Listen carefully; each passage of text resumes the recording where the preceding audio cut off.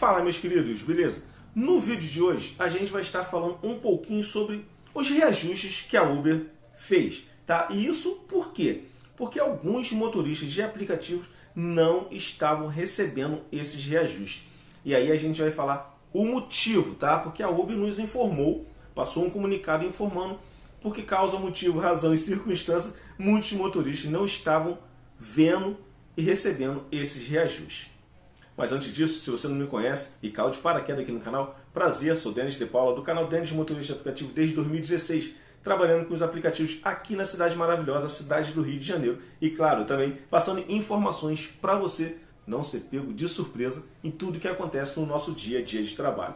Chegou até aqui, galera? Deixa aquele like, se inscreva no canal, ativa o sininho para todos, que aí você não vai perder nenhuma das informações. Mas vamos lá, galera. 6,5% nas tarifas. O problema é que esse valor já não é um valor muito legal, né? E o pior de tudo é que ainda é temporário. É isso mesmo que você ouviu.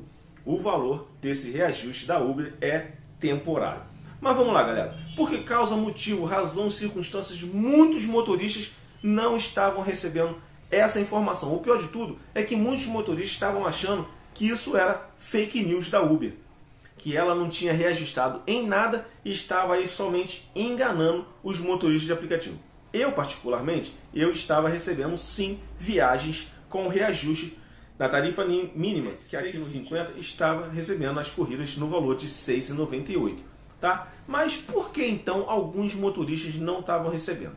A Uber enviou um comunicado, se você olhar e analisar ali no seu aplicativo, no cantinho esquerdo, onde tem aqueles três tracinhos, que é o menu, ali na caixa de entrada, você vai ver que a Uber enviou uma mensagem para você também, informando que só hoje, no dia 17, hoje é dia 18, né? A, a informação dela, só no dia 17 que ela conseguiu finalizar todas as informações no aplicativo. Então, quer dizer, até ela é, é, atualizar todo o sistema para que todos os motoristas de aplicativo recebessem esse reajuste, demorou seis dias praticamente. Então, por isso, alguns motoristas não estavam recebendo esse reajuste. Então, de repente, hoje, eu acredito que hoje, você for analisar, você vai ver sim esse é, reajuste. Tá? Nas cidades aonde trabalha por quilômetro rodado, vocês vão ver ali né, no detalhamento da viagem, ali separadamente ali o valor do reajuste.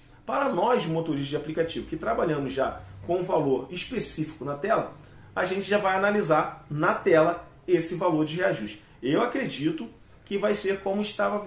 Algumas pessoas, né? Eu vou te falar, como eu falei, eu já recebi, é, aparece normalmente ali o valor, nada mudou. Tá? Só que em vez na tarifa mínima de R$ 6,50, tá R$ 6,98. Algumas pessoas estavam não, que vai vir ali dois valores, né?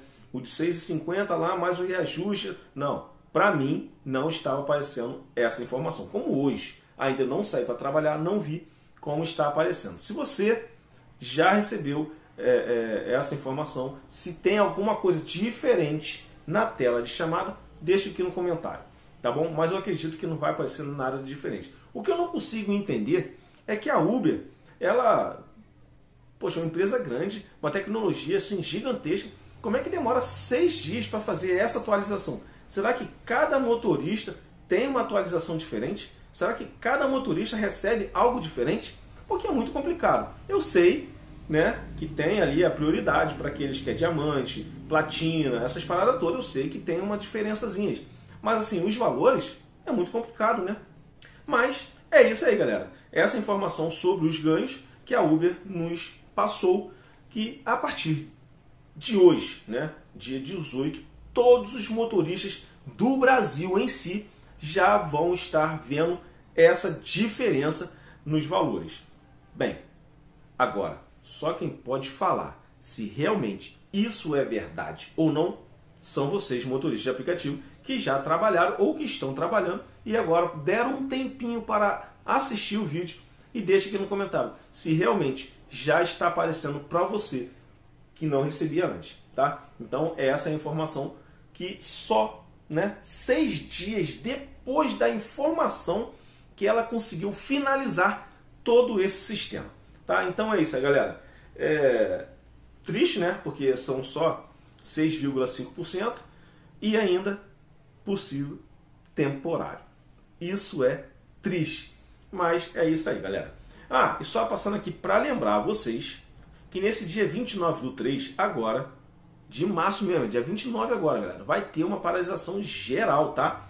Tem aí algumas cidades já fechadas com essa paralisação e que vai ter um apagão geral aí dos aplicativos. Convido você a estar junto conosco aí nesse apagão. É só desligar o aplicativo, galera. Não precisa nem de ir para algum lugar. Só desliga o aplicativo. De boa. Mais nada. Valeu? É isso aí. É, é, é quem está organizando aí são os sindicatos aí, tal, associação tudo mais. Não sou muito a favor de sindicato, associação, mas paralisação é algo que a gente precisa fazer em prol de melhorias, tá? Parece que aí na, na, na pauta tem algumas coisas aí falando sobre reajuste, né, sobre, sobre segurança e tudo mais. Se pelo menos conseguir alguma coisa, já ajuda de montão. Mas vamos lá, galera. É isso aí. Se você puder, deixa aquele like, se inscreva no canal se você não é inscrito aí, né? E ativa o sininho. Tá beleza? Tamo junto, um abraço do seu amigo aqui, Denis De Paula. Valeu, fui!